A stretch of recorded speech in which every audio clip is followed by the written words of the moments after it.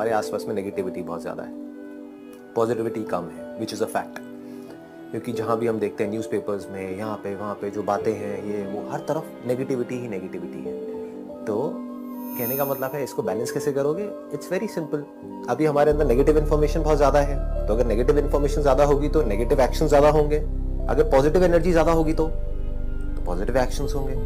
तो जितना हो सके अपने माइंड में बैलेंस को क्रिएट करने की कोशिश करो, क्योंकि नेगेटिविटी को आप लोग पूरी तरह से तो अवॉइड कर नहीं सकते।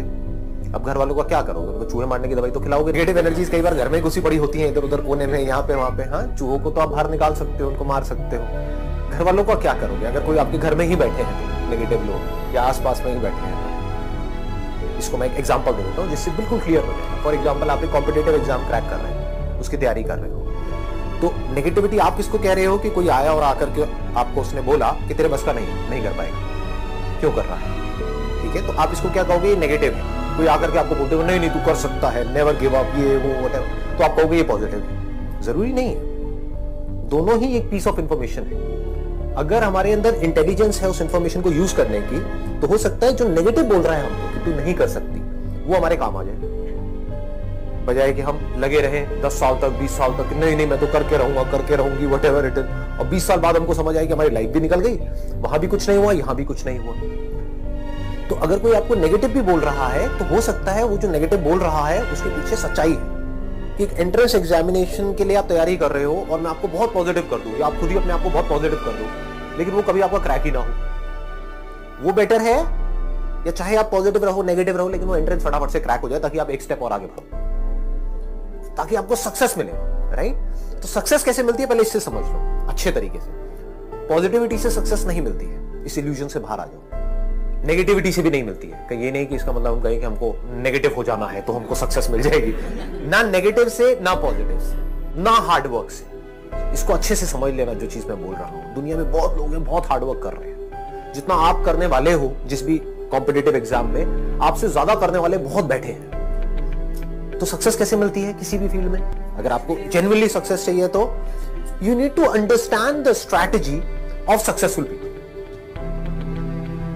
जिस भी फ़ील्ड में आप जा रहे हैं अगर आप ये समझ जाओ कि उसमें सक्सेसफुल होने की बेस्ट पॉसिबल स्ट्रैटेजी क्या है उस स्ट्रैटेजी को अगर आप समझ लो और उसके हिसाब से एक्ट कर लो तो हर काम आसान और अगर हमको ये ना समझ आए, और हम कितना भी हार्डवर्क करते चले जाए, सब कुछ मुश्किल है।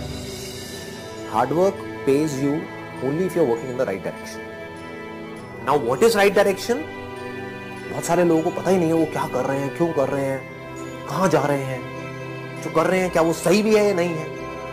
If you have hundred percent conviction जो मैं कर रही हूँ वो सही है तो वहाँ पर ना नेगेटिविटी हमको इन्फ्लुएंस कर सकती है, ना पॉजिटिविटी बट हम इस पर कभी काम नहीं करते। Just to crack the strategies लोग क्रैक ही नहीं कर पाए हैं लाइफ में कि कैसे आगे बढ़ते कैसे सक्सेसफुल होते हैं? अगर ये क्रैक कर लें कुछ लोग कर लेते हैं क्रैक वो कर लें तो वो किसी एक फ़ील्ड में नहीं कहीं पर भी सक्सेसफुल हो सकता है। बिज़नेस करोगे हज़ार चीज़ें ऐसी होंगी जो आपको बिल्कुल भी पसंद नहीं है फिर भी आपको करनी पड़ेगी।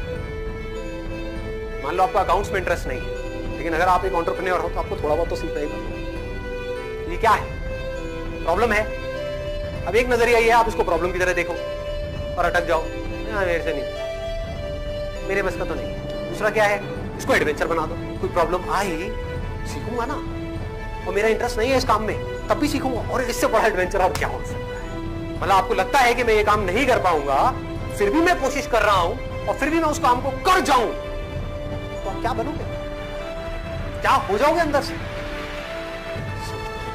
फिर कुछ भी खेल खेलने में आपको डर लगेगा क्या? आपको पता होगा कि अगर मैं ये कर सकती हूँ, मैं ये कर सकता हूँ तो मैं ये भी कर सकता हूँ। मैं सब कुछ कर सकता हूँ। भी हो जाए। कोई मुझे नहीं रोक सकता। मुझे पता है, सीखते कैसे? जिसको अपनी प्रॉब्लम को एडवेंचर बनाना आ गया, उसको सीखना आ गया। कुछ भी सीख सकता है। जो आदमी कुछ भी सीख सकता है, वो कुछ भी कर सकता है। जो कुछ भी कर सकता है, वो कुछ भी पा सकता है। क्या ऐसा है जो वो नहीं पा सकता? सोचो।